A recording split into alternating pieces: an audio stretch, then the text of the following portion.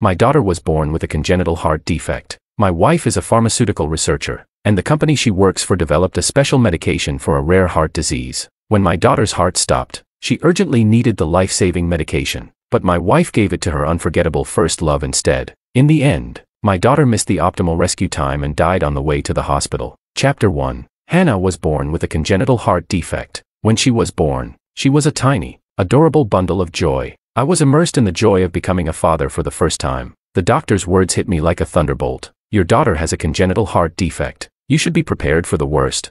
Just after being delivered via C-section, my daughter was rushed to the neonatal intensive care unit. Through the thick isolation door, I saw my daughter lying quietly in the sterile incubator. Her dark, curious eyes were observing this new world. At that moment, I silently vowed that no matter the cost, I would ensure my daughter survived. Hannah started undergoing heart surgeries from the age of two. At such a young age, she endured hardships that her peers never experienced. My wife, Rena Lin, is a pharmaceutical researcher. Their company developed a special medication for heart diseases that has won multiple medical patents domestically. Although Hannah's surgeries were successful, she couldn't run and play like other children. I gave her a heart rate monitor watch to keep track of her heart's condition. Over the years, I worked tirelessly, earning promotions and salary increases. I had already spent over a million yuan on Hannah's treatments, but I had no regrets. My biggest wish was for my daughter to grow up healthy and happy. My wife worked at a pharmaceutical company, and her job was relatively easy. She spent a lot of time with Hannah and was knowledgeable in pharmacology and emergency measures. Recently, our nanny took leave for personal reasons, so Hannah was being looked after by her mother. When I received a call from Hannah, I was working overtime at the office. Her heart rate monitor was sending out continuous alarms, followed by her faint, intermittent voice. Daddy, my chest feels tight, I can hardly breathe. My heart leapt into my throat. I grabbed my car keys and rushed home. Where's your mother? Hannah was sobbing softly, terrified. Mommy went out. I'm alone at home. My mind went blank. How could my wife leave our daughter alone at home in her condition? I had no time to question my wife, so I drove home recklessly running red lights along the way. Recently, my wife's unforgettable first love had returned to the country, and she had been acting like she had lost her soul. Her attention was no longer on our daughter, nor on me. When I finally reached home, I found my daughter's small body curled up on the floor, her face pale and lips bloodless. She groaned in pain. Daddy, I feel so bad. I can hardly breathe. Her heart rate had reached a dangerously high 120. I quickly carried her to the bed and performed CPR. Despite my efforts, her condition did not improve. I searched the house for the life-saving medication but couldn't find it. Panic set in, and I shakily called my wife. As expected, she mercilessly hung up on me. Chapter 2 After much difficulty, the call finally connected, and my wife's impatient voice came through the phone. Oscar Wu, can't a married person have some personal space? I'm very busy right now, and I don't have time for your nonsense. Hearing my wife's distant words made my heart ache uncontrollably. I tried to suppress my anxiety, are you with Makoto? Rena became instantly furious, her privacy exposed. Makoto got hurt. Can't I come to see him? I couldn't help but let out a bitter laugh. So you just abandoned our daughter to see your unforgettable first love?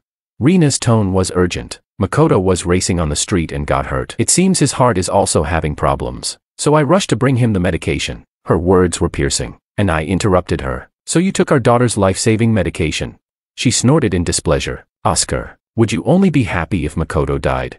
My heart felt tightly constricted. Taking away our daughter's life-saving medication will kill her. I can't reason with someone as narrow-minded as you. Goodbye. Before I could finish speaking, my wife had already grown tired of the conversation. Without hesitation, she hung up the phone. My daughter's condition was critical, but the ambulance had not yet arrived. Daddy, Hannah can hold on. Let's not disturb mommy. If we disturb her, she will be angry.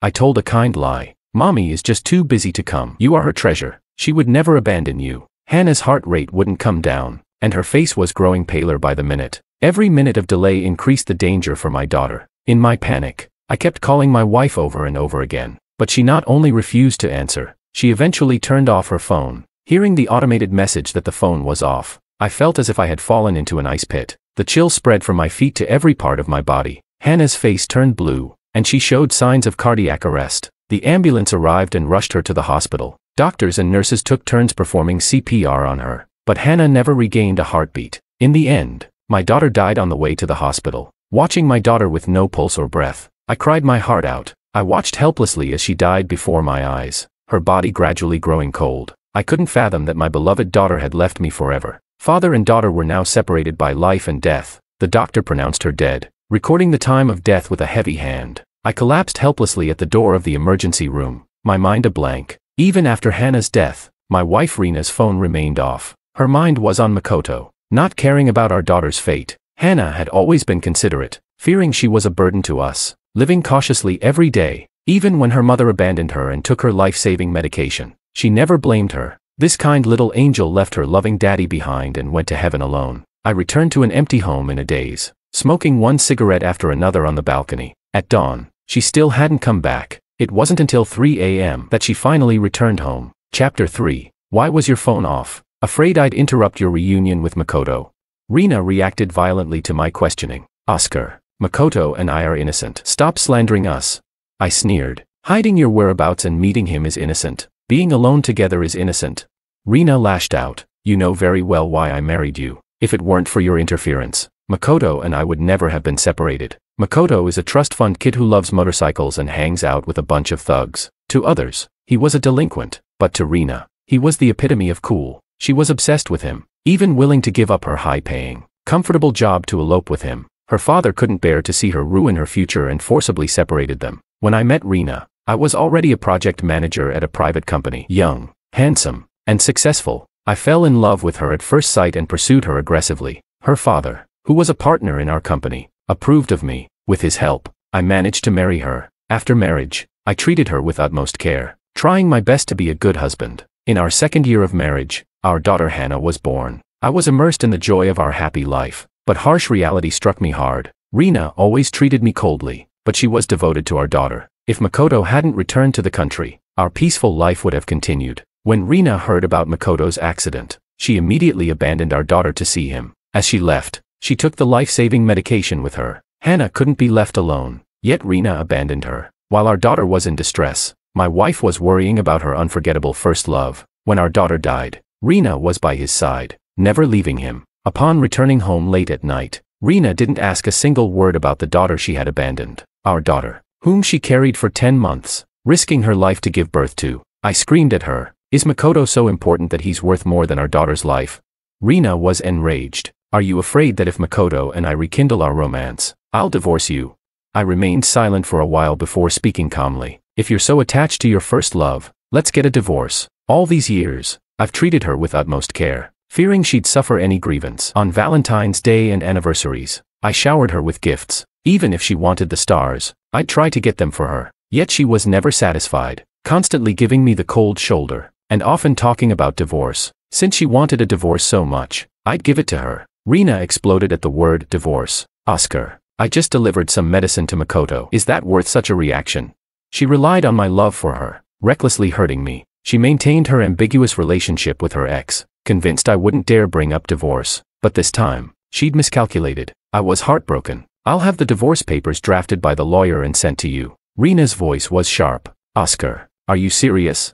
She rushed into the room, looking for our daughter. All along, she used our daughter to manipulate me. I closed my eyes in pain. Stop looking. Our daughter is already. Rena slapped me hard. Where did you hide her? She threatened. After the divorce, you won't get custody of our daughter.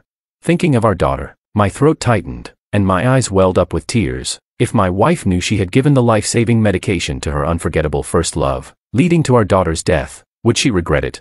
Chapter 4 My wife was convinced I was hiding our daughter and took me to court with a lawsuit. That night, we had a huge argument, ending on bad terms. She ignored our daughter and left the house in the middle of the night. Worried about her safety, I quickly drove out to follow her. She didn't go to her friend's house but instead knocked on the door of her unforgettable first love's home. The sight that greeted me left me frozen in place. My wife, Rena, was sweetly nestled in Makoto's arms, complaining about me. Oscar, that bastard, used every trick to force me to marry him, and now he wants a divorce.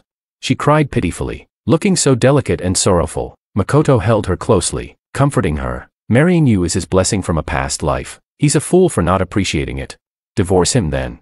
Rena wiped her tear-streaked eyes, looking obsessively at the men before her. If my father hadn't forcibly separated us, we wouldn't have been apart. Makoto's eyes were also red. I regret not holding on, letting Uncle Lin break us apart. Every day without you has been like living in hell. I couldn't deceive my heart, so I flew all the way back to find you.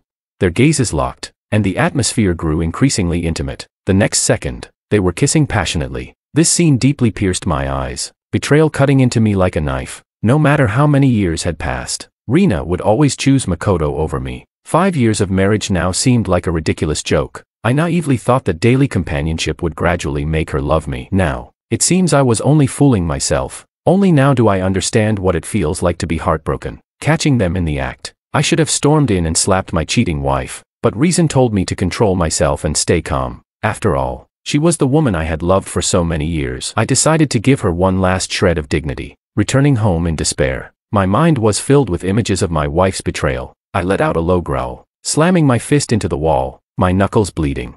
But I felt no pain, punching the wall again and again. The physical pain was nothing compared to the pain in my heart. My wife had reunited with her first love, lost in their happiness, completely forgetting our daughter's death. I had no time to mourn, taking care of my daughter's funeral arrangements alone. With a heavy heart, I called family and friends to inform them of her death. Everyone was shocked to hear the news. Hannah's heart surgeries had been successful, and my wife was a pharmaceutical researcher. Such a tragedy shouldn't have happened, but I couldn't bring myself to announce my wife's betrayal, that she had taken the life-saving medication for her first love. To spite me, my wife blocked all my contacts and played the disappearing act. I never expected my wife to be so heartless. Chapter 5 After the incident with my daughter, I was drowning in grief, unable to pull myself out. One day, several burly men barged into my home and started beating me without saying a word. It turned out my wife had hired thugs, threatening me to hand over our daughter. I showed them the black and white photo of my daughter. This is who you're looking for. They exchanged puzzled looks. We're looking for a living person. Stop trying to fool us with a dead person's photo. They searched every corner of the house but couldn't find who they were looking for. In the end, they left disappointed. That night, my wife, who had been missing for days, finally returned. Rena threw the divorce papers in my face, saying with disgust, I've signed the divorce papers. Now, give me back my daughter. The anger I had suppressed for so long ignited. Rena, are you in such a hurry to divorce me so you can be with Makoto? My wife didn't hide her love. The person I love has always been Makoto. Don't think you can use marriage to bind me. And of course, I'll be taking custody of our daughter. I gave a bitter laugh. You left without a word and didn't care about our daughter. Aren't you afraid she'll be angry with you and never forgive you? Rena slapped me hard across the face. Oscar, is this how you educate our daughter? To win custody. You're trying to turn her against me. You disgust me.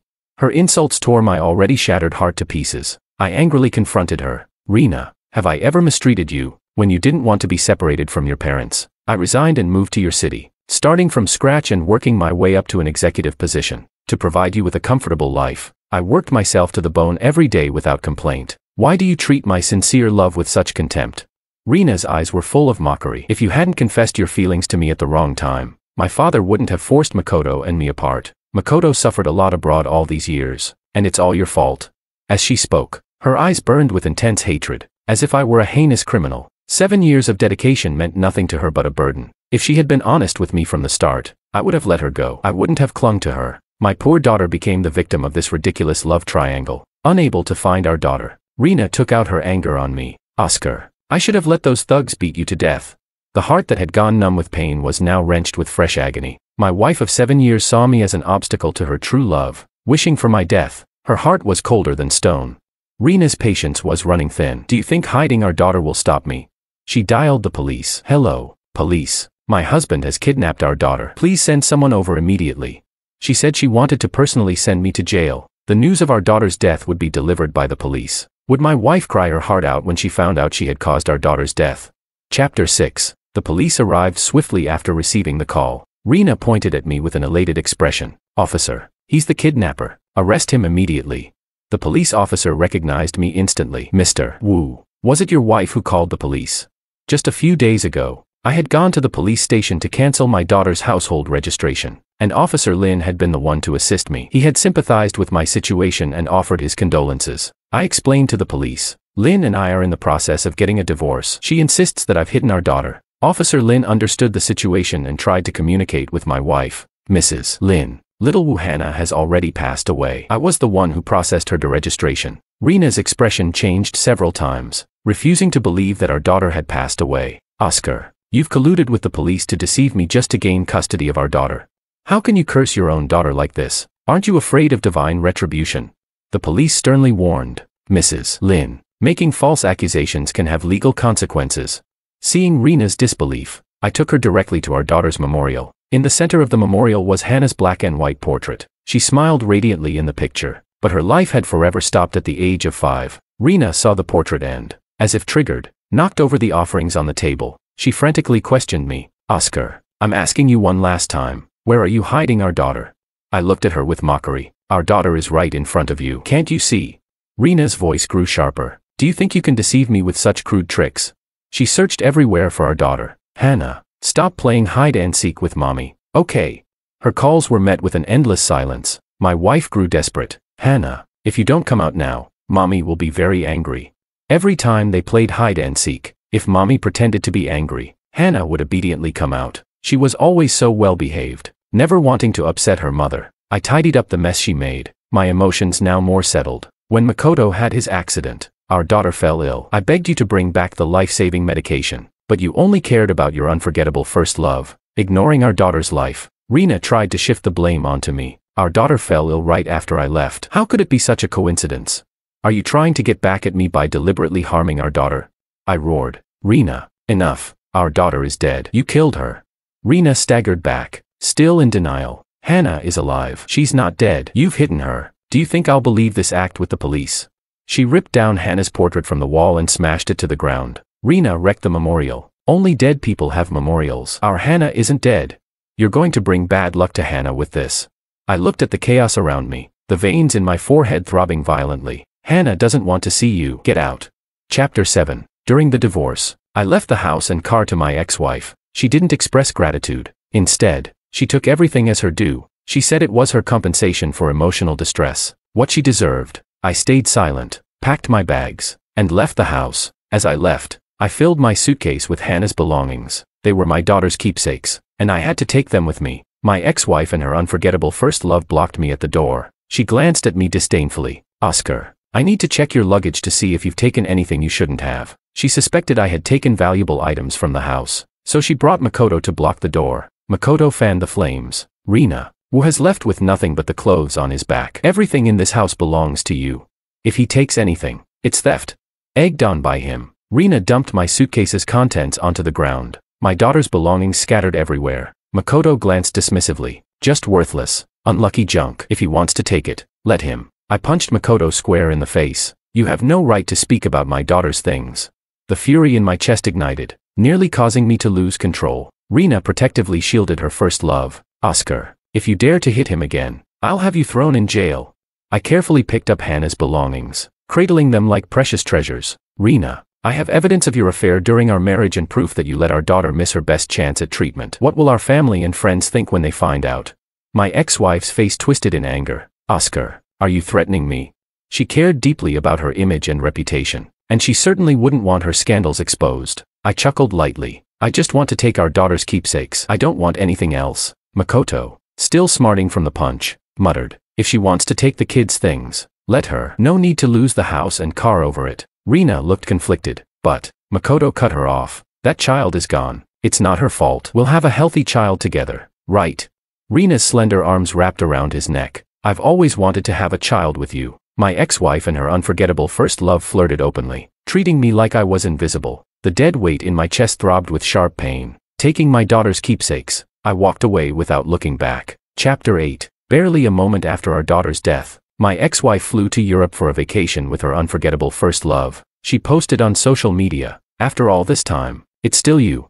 Makoto shared a picture of them holding hands and a screenshot of their plane tickets. In the photos, my ex-wife was beaming her face showing no sign of the grief from losing a child. They kissed sweetly by the sea, felt the ocean breeze on the beach, and watched the sunrise and sunset together. Meanwhile, the balance in my salary account was rapidly depleting. Each expenditure a significant amount. Seeing the balance nearing zero, I notified the bank to unlink her supplementary card. Every penny she spent on Makoto after the divorce, I would reclaim without fail. After unbinding the supplementary card, Rena's number quickly appeared on my screen. Her voice was sharp. Oscar, does it hurt you to see me spending your money? You should be honored that I'm willing to spend it.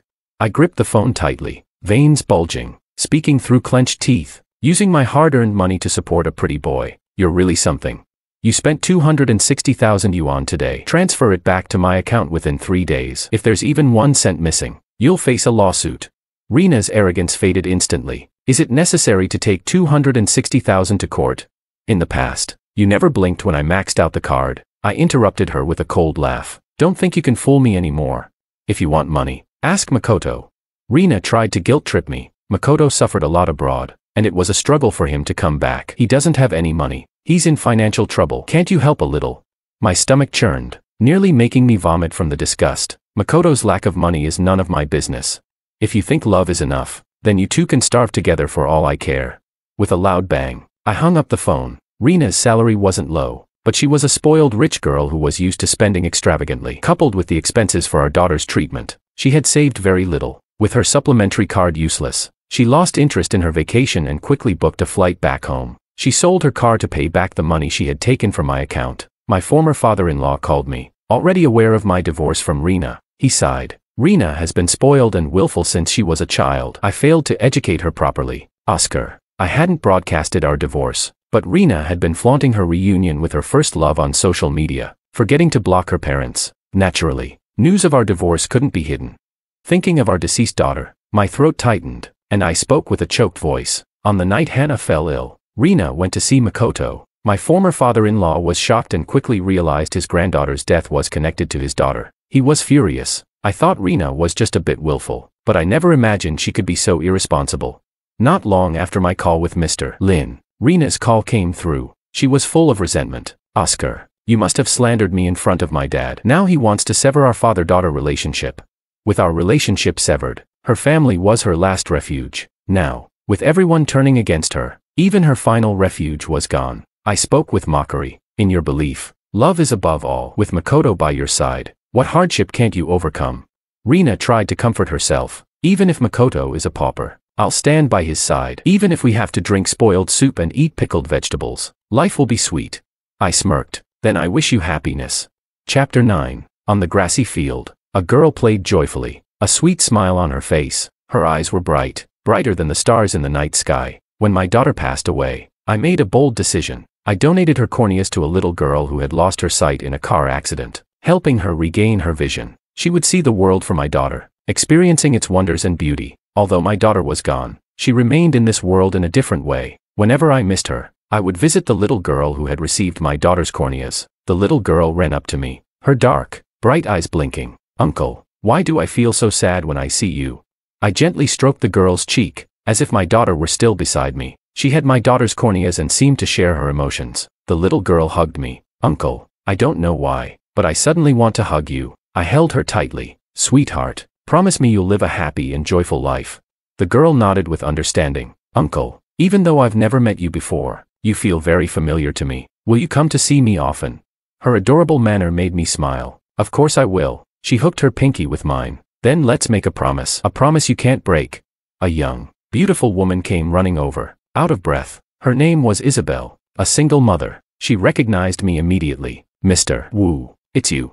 I felt a bit embarrassed. Miss E, I came to see Emmy. I hope I didn't disturb you. Isabel was very courteous. You donated your daughter's corneas, giving my Emmy the chance to see again. I'm eternally grateful. Her daughter had been injured in a car accident and her heartless husband refused to pay for the medical expenses, even asking for a divorce. I had been betrayed by my wife and lost my daughter, now alone as well. Perhaps our shared misfortune made us feel like kindred spirits. Meeting too late, Isabel's tears fell like pear blossoms. Mr. Wu, you must be a loving person. Emmy is very lucky to have someone like you, who is selflessly giving. To regain her sight, her eyes were full of gratitude when she looked at me. I felt a myriad of emotions. Miss Zhuang, you must love your daughter very much. Emmy is lucky to have a mother like you. If only Rina had loved her daughter as much, the tragedy might never have happened. Would my daughter have resented her mother as she left this world? Isabel's almond-shaped eyes curved into a smile. Mr. Wu, if you're willing, Emmy can be your goddaughter. You can come see her anytime you want. Her bright smile seemed to dispel all the gloom in the world. Every expression lively and engaging. I watched her, realizing my sudden rudeness, and quickly looked away. We should ask Emmy what she thinks. Emmy jumped into my arms. Uncle, I like you. Can you be my godfather? Through the girl's clear and lively eyes, I saw Hannah's reflection. Hannah, let this little girl named Emmy live a happy life for you. Chapter 10 After the divorce, my ex-wife constantly flaunted her sweet daily life with Makoto on social media. When she was with me, she enjoyed delicacies like bird's nest soup and shark fin. Now, with someone else, She was living on simple meals. She posted, Love makes even simple meals sweet and fulfilling.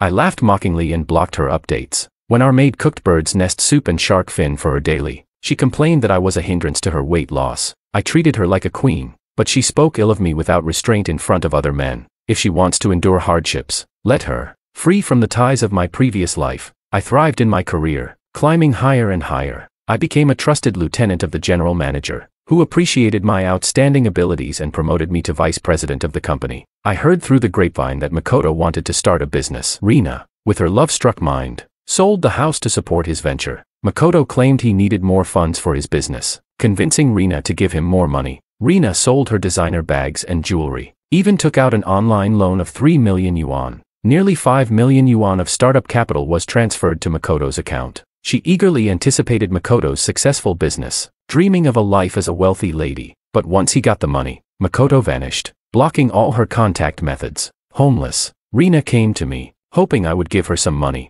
Even though Makoto had taken everything from her, she was still in denial. Makoto must be working on a big secret project. He just can't tell me right now. He loves me so much. How could he deceive me?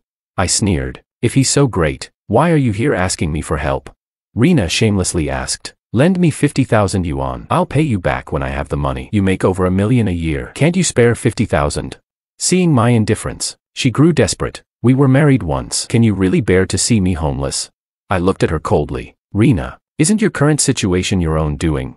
We're divorced. Your well-being is no longer my concern. Rina clung to my sleeve, looking pitifully at me. I have nowhere else to go. Can you at least let me stay the night?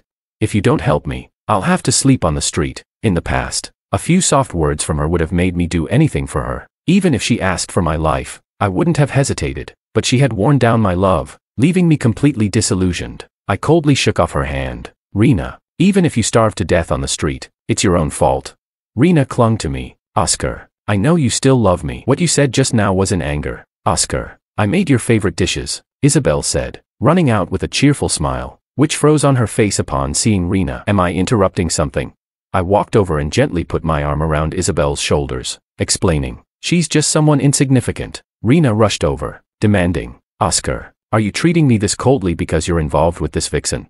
She lunged at Isabel, but I pushed her to the ground. I warned her coldly, if you disrespect Isabel, I won't be kind to you. Rena looked at me pitifully. Oscar, are you really going to abandon me? Chapter 11. Seeing my ex-wife's miserable situation gave me a sense of vindication. Beyond hatred, I felt nothing for her. When did I stop loving her? Even I couldn't pinpoint the exact moment. Perhaps it was when she repeatedly deceived me, secretly meeting Makoto. Or maybe it was when she abandoned our daughter, taking the life-saving medication to save Makoto instead. This time, I truly wanted nothing to do with her. Makoto had been stringing her along, pretending to love her, until he drained every last bit of value from her and then disappeared with the money. Rina discovered his travel plans and chased after him across the country. This pursuit nearly cost her life. As soon as she landed, she was kidnapped, and the captors demanded a million-dollar ransom. Terrified, she called her parents in China, begging them to pay the ransom. Despite having cut ties with her, the Lin couple promptly arranged the ransom upon hearing their daughter's life was in danger. At Mr. Lin's request, I contacted the Chinese embassy, seeking their intervention to secure her safe return. The embassy worked diligently with local police, hoping they would mobilize forces to rescue her from the kidnapper's den. In a place like Myanmar, where human life is often disregarded, even receiving the ransom wouldn't guarantee her safety. Thanks to the combined efforts, Rena, though shaken and bearing signs of mistreatment, managed to board a flight back home. She was visibly distressed. During the kidnapping, I realized many things. The figure I chased in my youth was merely a dream I wove for myself. When I woke from the dream, I faced the consequences. I wanted no further entanglements with her and turned to leave. She grabbed my hand, her voice strained. Oscar, thank you for taking care of me all these years. I've never regretted having Hannah. My tone was distant and cold. Rina, I've decided to return to Nanchang. We probably won't see each other again. Her eyes reddened. Miss E is so gentle and understanding. She must be a southern girl, right? Are you together?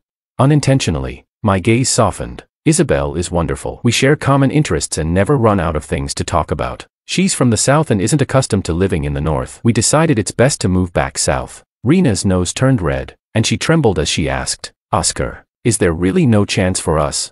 I laughed lightly. Every step I took before felt like walking on a knife's edge, bleeding yet refusing to give up. Eventually, I realized that you can't force feelings. Tears streamed down Rena's face as she realized she had lost the one who loved her most and now deeply regretted it. What can I do to make you come back to me? Painful memories flashed through my mind like a slideshow, making it unbearable to continue. We can't go back. It's too late. Rena's tears fell in large drops, and she finally let go of my hand. As I turned to leave, she didn't try to stop me. Her voice came in broken fragments. Oscar, you must be happy. I will be. I thought I will definitely be happy.